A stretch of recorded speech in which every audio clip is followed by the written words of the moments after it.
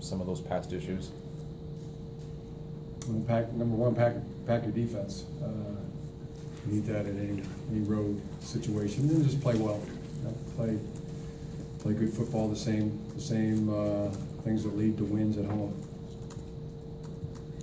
Jim, as far as the, the depth chart, when that comes out, will that definitively say who your quarterback is?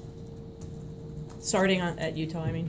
I haven't decided yet, And I just was also wondering in terms of injuries, has Drake?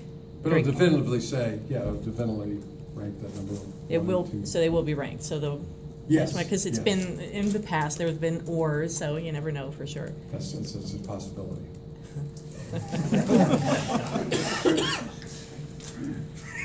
Has, has Drake Johnson been cleared? Hey, good question. Uh, Drake is, is uh, cleared practicing and um, haven't decided whether he's gonna play in this ball game yet, but he is uh, ahead of schedule, doing a, doing a fantastic job. Getting bumped around, he's in, he's in practice.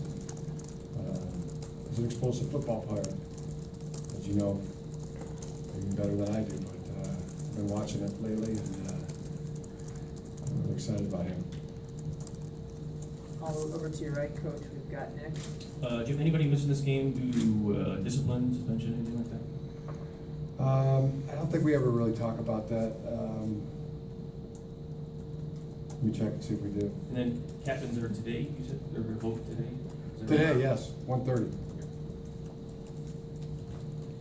Back over to